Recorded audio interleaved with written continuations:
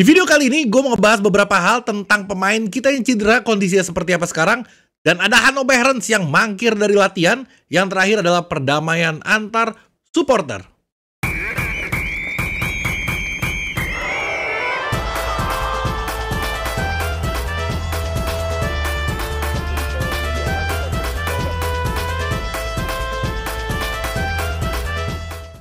Oke Jack, Assalamualaikum. Balik lagi sama gue Ilan Alkatiri di Persija Insight. Di video kali ini gue tadi udah singgung di awal-awal Mau ngebahas beberapa hal penting. Sebenarnya gue menyinggung masalah-masalah yang kemarin uh, Di acara Mata Najwa itu. Uh, Gue juga mau ngebahas itu nanti di akhir-akhir. Uh, Gue mau ngasih informasi aja sedikit Tentang yang terjadi sekarang di Persija Jakarta. Dari mulai latihannya Dari mulai uh, pemain-pemain yang cedera dari mulai Hanno Behrens yang gak ada banyak, banyak yang bakal gue bahas. Tapi gue akan persingkat karena kemungkinan video ini gak akan lama. Walaupun lo gak percaya, biasanya gue ngomong gak akan lama tapi tiba-tiba 20 menit. Ya udah gak apa-apa, nikmatin aja. Oke, gue mau kasih tahu ke kalian juga, jangan lupa subscribe uh, YouTube gue yang ini. Kalau udah subscribe, lo bunyiin lonceng. Kalau lo belum tahu ada tuh. Di sebelah logo subscribe ada lambang kayak lonceng gitu, pencet. Supaya apa? Begitu gua upload ke YouTube, jabret muncul notifikasi di handphone lo. Jadi lo bisa nonton gue dengan mudah karena dia muncul di layar lo gitu. Jadi eh selain subscribe, lonceng bunyiin juga dan juga sholat. Biasa, gue selalu mengingatkan kalian di setiap video gue. Sholat, Jack. Tinggalkan ini YouTube sementara, lo pause gue misalkan lagi begini nih, gak apa-apa lo pause, gue lagi nganga, biarin. Lo sholat dulu, wudhu sholat, beres lo balik lagi, lo play lagi, baru gue bisa gerak lagi. Oke, jadi beberapa video sebelum ini gue ngebahas tentang kanjuruhan lagi, kanjuruhan lagi. Yang mana gue udah bilang gue nggak mau ngebahas tentang kanjuruhan lagi. Gue udah mau move on dari situ. Ternyata ada informasi-informasi baru yang itu harus gue share karena gue gatel kalau nggak gue share gitu. Jadi gue bikin video lagi. Di lain sisi juga di Persijanya juga belum ada berita yang harus gue share ke kalian. Jadi ya gue bawain dulu aja tentang berita nasional gitu. Itu juga masih sepak bola kita dan ada kaitannya dengan kita juga. Terus gue ngebahas juga tentang timnas kemarin Kenapa timnas ya? Karena Indonesia negara kita, jadi gak apa-apa gue bahas juga sekalian. Oke, jadi gue akan mulai perlahan uh, satu persatu. Ini gue udah biasa. Uh, kalau lo nonton gue selalu, lo tahu apa yang akan gue lakukan. gue udah catat beberapa poin-poinnya aja. Uh, gue akan uh, jabarkan satu persatu. Ini akan mantap ini.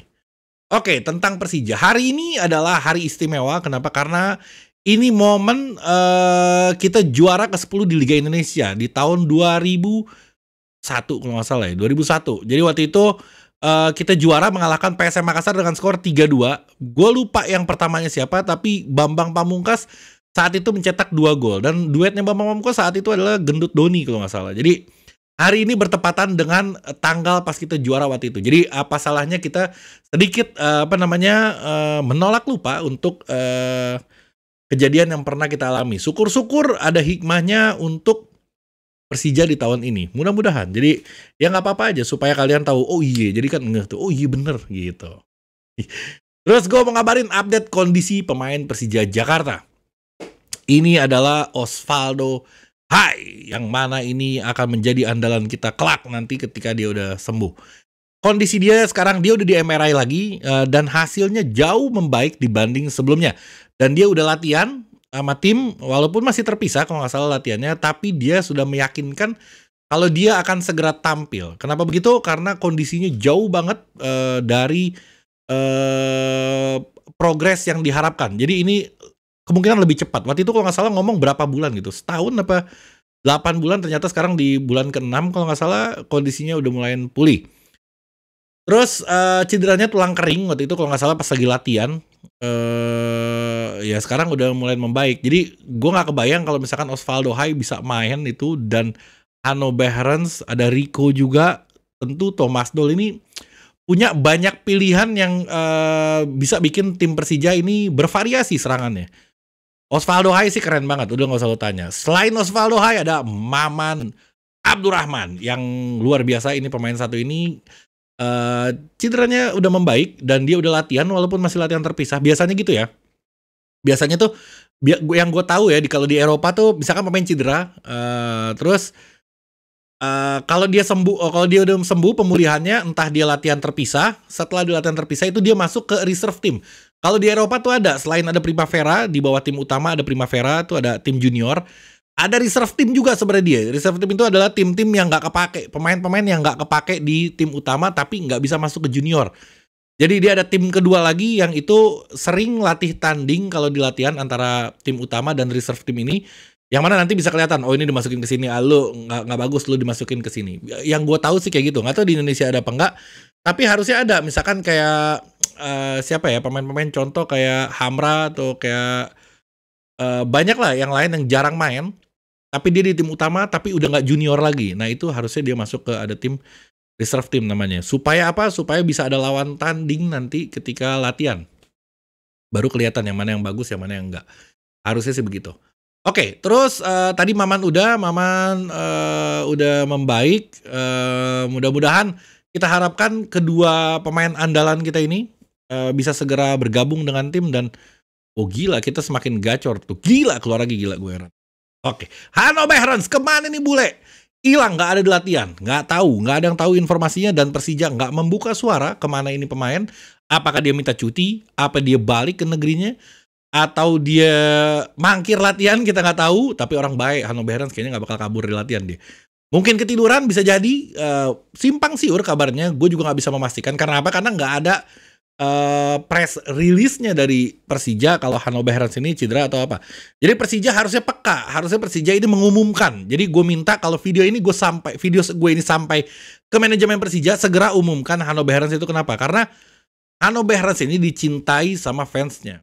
Ketika orang yang jatuh cinta pasti pengen tahu uh, orang yang dicintainya itu ke mana. Jadi kalau misalkan satu hari aja nggak ada, rame ini. Kayak gue gue penasaran ke mana Hanno Behrens nih? Gue pengen lihat dia nih nggak ada. Mesti dijawab Hanno Behrens uh, misalkan uh, sakit atau Hanno Behrens atau apa.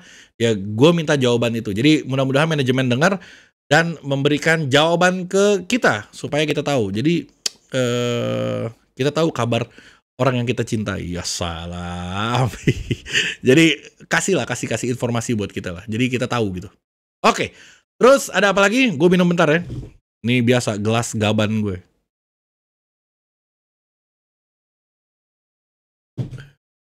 Ajib tuh dingin lo lihat nih air berkeringet tuh. Widih, ini ajib tuh.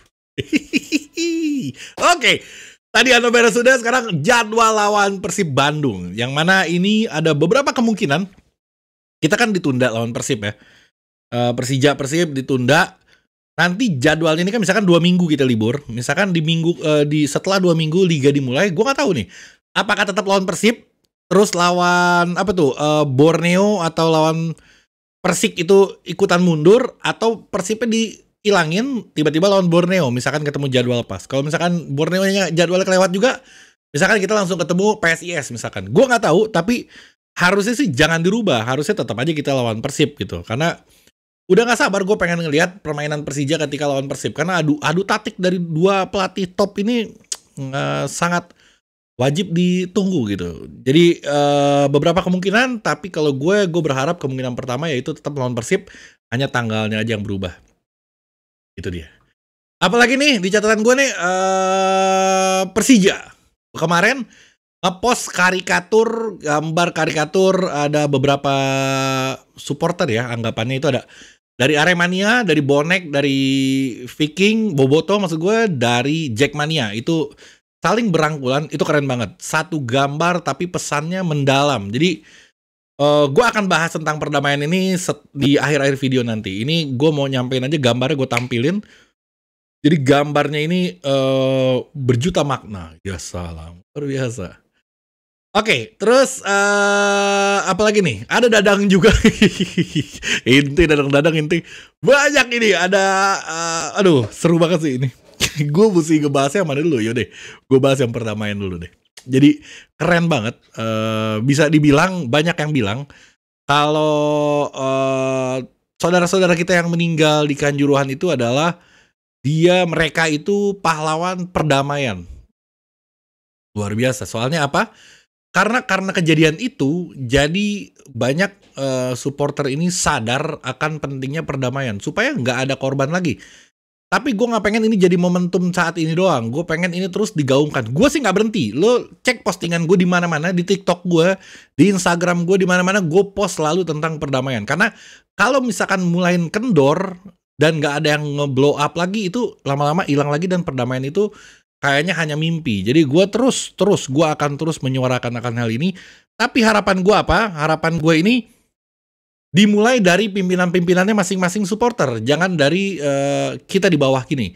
Contoh, gue banyak banget gue dapat informasi kayak misalkan di Tangerang udah ketemu sama anak-anak Viking, di daerah Kerawang udah ketemu The Jack sama Viking, uh ramai banget di mana-mana udah ada perdamaian, keren banget luar biasa.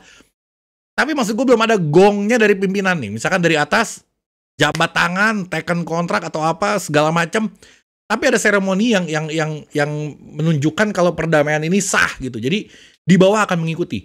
Biasanya kalau atas minta damai, bawah nggak mau. Ngerti gak? Biasanya kesulitan atas mengatur bawah karena atas pengen damai karena memang dia saling saling berteman. Gak ada masalah untuk pimpinan-pimpinan. Tapi di bawahnya nggak mau biasanya. Kali ini terbalik. Ini momen paling pas ini. Di bawahnya pengen damai semua.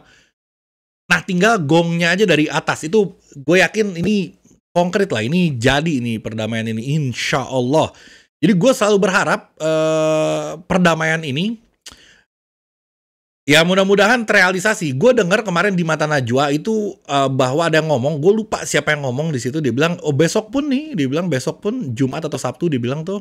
Berarti kan dia ngomongnya sebelumnya ya.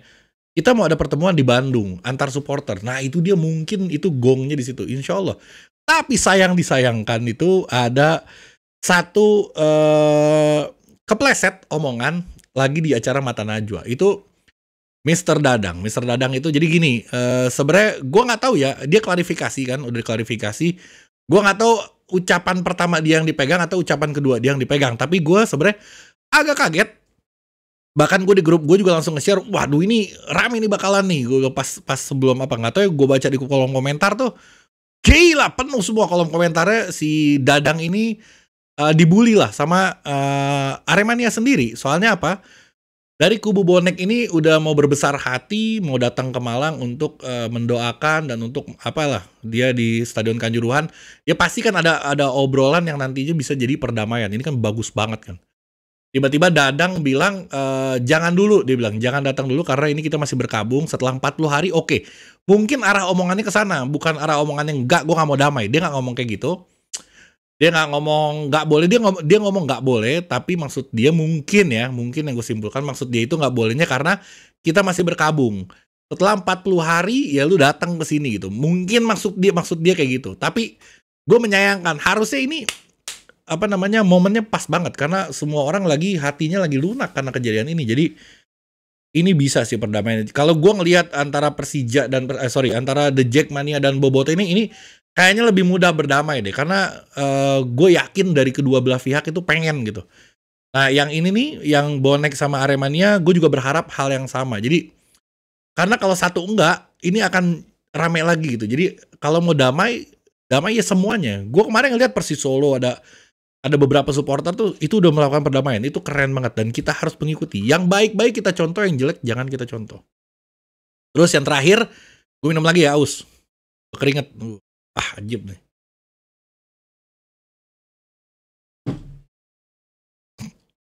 Ditungguin gue minum ya.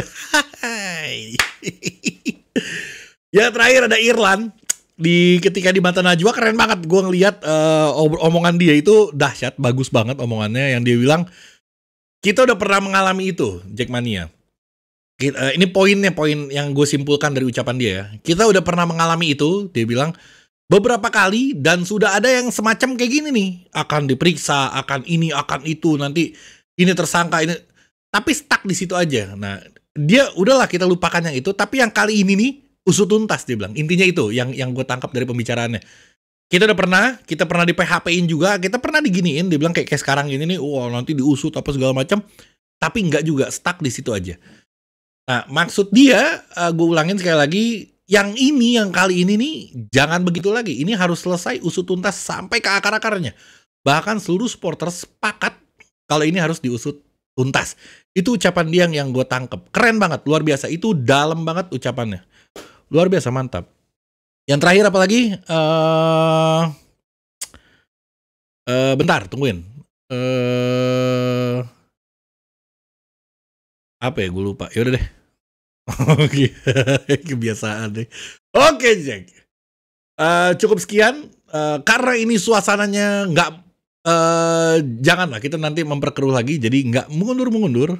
Uh, padahal lagi rame lagi tuh kalimat gara-gara uh, Bung Toel ya kalau nggak salah ya ngobrol sama salah satu ini dia bilang mundur mundur akhirnya komennya mengundur mengundur semua dia bilang kan ada videonya gue share juga di Instagram gue tuh jadi gue gak akan gitu gue akan bilang uh, yang biasa aja. Gue Persija. Gue champion